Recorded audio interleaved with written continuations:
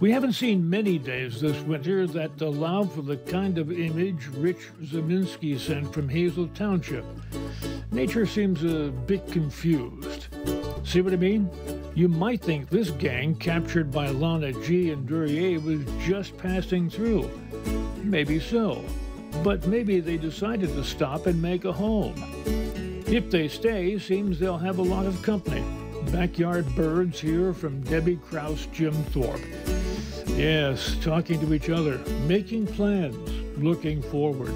Cynthia Roth in Moosic titled this Feeling the Love. For the love of birds, Carol Elliott of Mount Cobb called this Ah, love is indeed in the air, even if it is chilly air.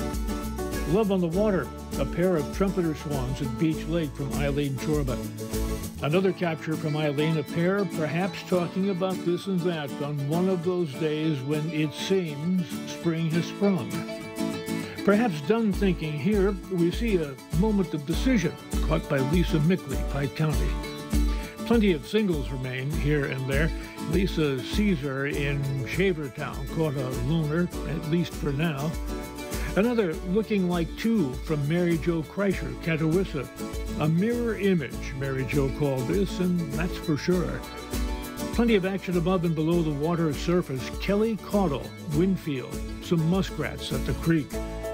Plenty of just looking time is here, called the Keen Observer by Monica Marzani, Newton Township. All the while, most of us sit around hoping nature will decide on something, be it spring or winter. Leona Palsky in Jersey Shore found a confused individual. Friend, you're not alone. So we will sit back and wait and contemplate views like this from Jim Legge, Gouldsboro.